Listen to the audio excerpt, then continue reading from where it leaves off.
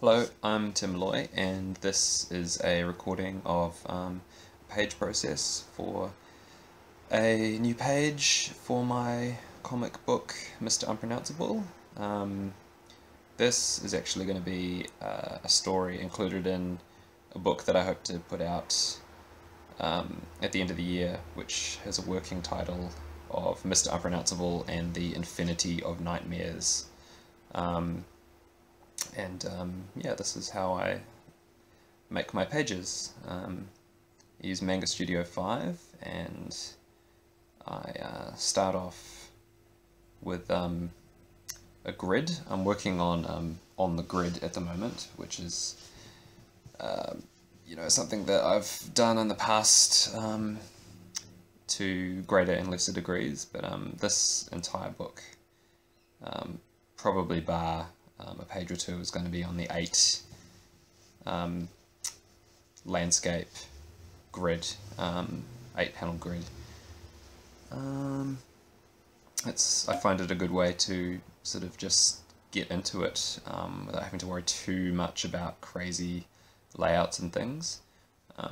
As you can see, I've sort of, you know, uh, when I'm penciling, um, I just kind of get stuck in. I'm not really sure if um, I knew exactly what I was doing with this page. I think I had a, a very rough thumbnail um, next to me when I was drawing it, but you know, as you can see, I'm sort of experimenting as I've gone along. Um, you know, I sort of try and get a panel pencil at a time um, without jumping back and forth too much. Um,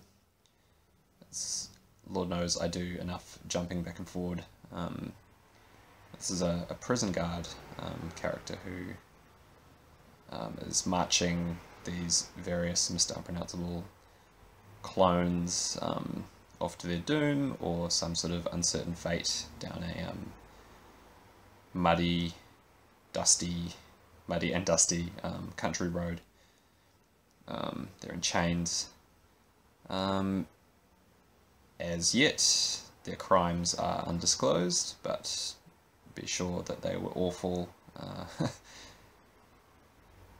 and um, yeah, so the biggest part of the, the process, the thing that takes the longest, um, especially on a page like this, which is quite detailed with all of this, um, you know, background detail and, and trees and leaves and, and, long grass and things, is the inking. Um, the inking can be very time consuming. I've become very um, anal retentive about every single line. Um, you know, um, I, I find that working digitally is a really um, good thing to do for me because um, I would end up being this anal anyway about my my line work if I was doing it traditionally, but it would just take me longer. Um, it's a bit of a double, it's a bit of a double edged sword though because you know with the ability to zoom in and you know um, backspace, you can end up becoming um, you know spending too long on uh, on stuff that doesn't really matter. You know, I, I find myself zooming into these tiny little areas, and you know, every single line has got to be correct. Um, I'm trying to be a bit looser with stuff, as you can see with these this grass that's happening. I'm doing it pretty fast. I'm not really, you know, penciling each each line there. Um, this character here was um, originally in my mind going to be some sort of robot, um, gas mask kind of kind of figure. Um, then I decided I, I wanted to give him a lot more expression that is available for you know something that doesn't have facial features. Um, he was going to have little goggles at first, but then I decided no, give him eyes, um, give him pupils, make him you know give him some humanity. As such, um, a lot of the protagonists, or sorry, the the antagonists um, in Mr. Unpronounceable comics tend to be um, alien, sort of featureless. A lot of the, the dialogue that comes out of them is in sort of hieroglyphs, so you can't read it.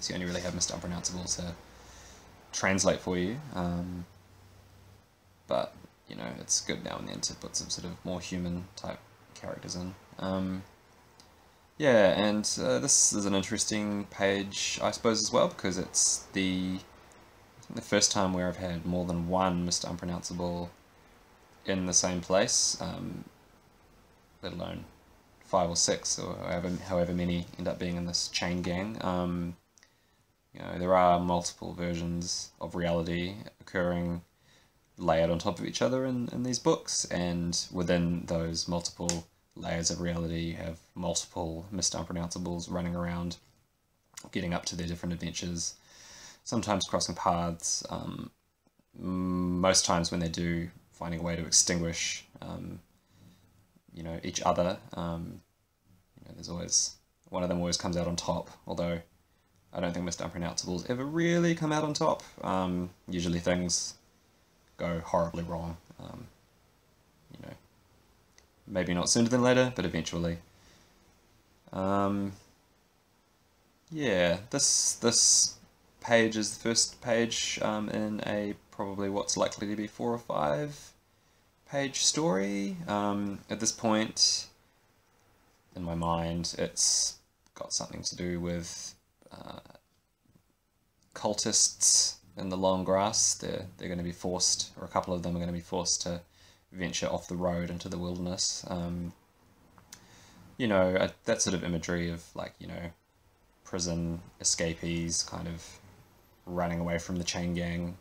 It's quite fun to play with um, tropes like that, um, and, and many others in these these strips. You know, it's sort of Mr. Unpronounceable is such a well, predictably unpredictable character that I, I find it amusing to sort of throw him into situations which, you know, are sort of pre-existing um, ones within, you know, film or literature or television and see what he does or see what happens, you know, in this world, which quite often the, the, the thing that you expect is um, turned on its head.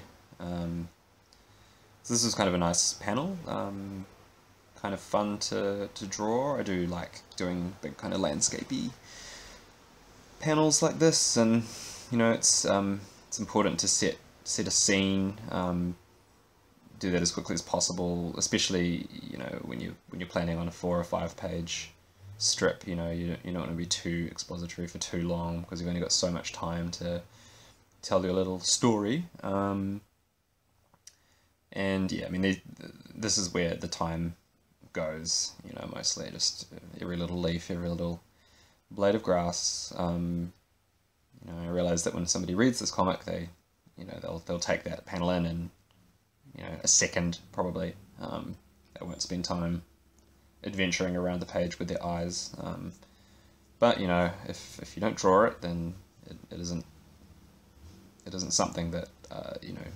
characters can walk through and I don't know. I, I guess it keeps me off the streets.